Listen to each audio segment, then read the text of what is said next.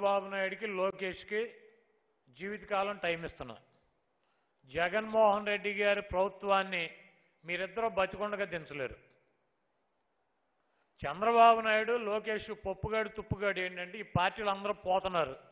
ఆ పార్టీని కాపాడుకోవాలంటే ప్రతి ఎన్నికల ముందు మేమే అధికారంలోకి వచ్చేస్తాం.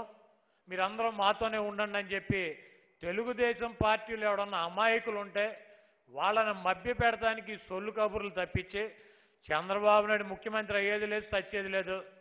లోకేష్ పప్పు నాయుడు అయితే ముఖ్యమంత్రి సంగతి పక్కన పెట్టండి. శాసనసభ్యుడు కూడా అవడు.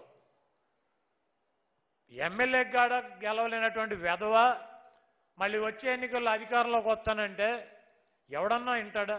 ఆ తెలుగుదేశం పార్టీ అభిమానులు ఎవడు ఇంటి రామారావు బొమ్మ పెట్టుకుని ఆ భజన చేసుకుంటా ఇంటి రామారావు మీద అభిమానంతో తలకాయ లేనటువంటి కొంతమంది వ్యక్తులు ఉంటారు. ఎందుకంటే ఇంటి అభిమానులు అని చెబుతారు. ఇంటి ద్రోహం చేసిన వెధవెవడో ఆయనకు వెన్నుపోటు పోడిసిన సన్నాసి ఎవడో ఆయన పార్టీని లాక్కుని లుచ్చాగాడు ఎవడో వీడే కదా చంద్రబాబు నాయుడు వీడికి భజన కొట్టుకుంటూ తిరుగుతారు. ఏంట్రా బాబు మీరంటే మేము ఇంటి రామారావు అభిమానులు అని చెబుతాం అటువంటి బుర్ర తక్కువ పనికి మాలిన వాళ్ళకి ఈ పప్పుగాడు తుప్పుగాడు ఇద్దరు కూర్చుని మేము అధికారంలోకి వస్తాం.